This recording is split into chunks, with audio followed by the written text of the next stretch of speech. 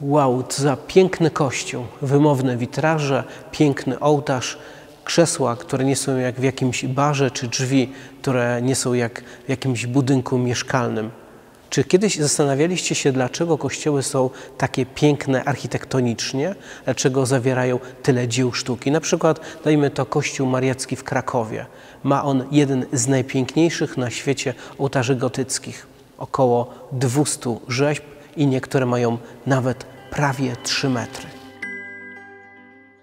Rzeczy Boże wymagają dobrze zorganizowanej przestrzeni, dlatego że to, jak ustawiamy różne rzeczy, świadczy o nas.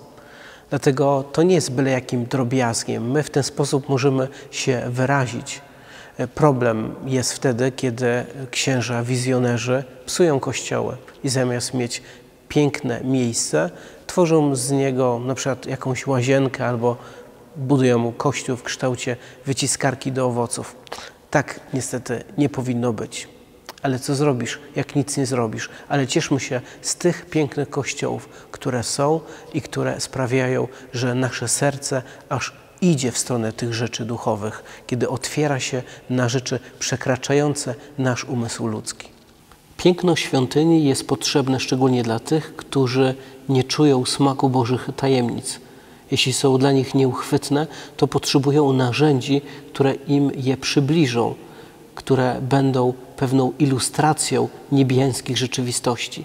Dlatego przy budowie kościołów jedyną wytyczną nie może być praktyczność, użyteczność, tylko powinna być stworzona tutaj przestrzeń, która będzie zachwycać, która będzie zatrzymywać, która będzie pobudzać i mówić wiele o Bogu. I tak obrazy, malowidła, na przykład Biblia Pauperum jest tego najlepszym przykładem, że ona miała cel dydaktyczny, bo osoby nieumiejące czytać mogły poprzez te obrazy zbliżać się do pewnych Bożych tajemnic. One były dla nich wyjaśniane.